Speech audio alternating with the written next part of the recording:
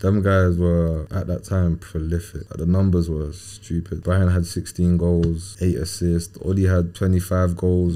Mm-hmm. How many assists? Saeed had 16 goals, 10 assists. I had 10 goals, you had to put that one in. nah, but, nah, honestly, one like, in. Mm. honestly, like we were like we were flying. I remember we had the COVID break. We won 99. At the end of the, the last game of the season, we could have got autos. At the beginning of that, we was like 10 points off. But because we won every game, we were just you know that and that's what I mean. Like you're just walking into games thinking we're gonna win today.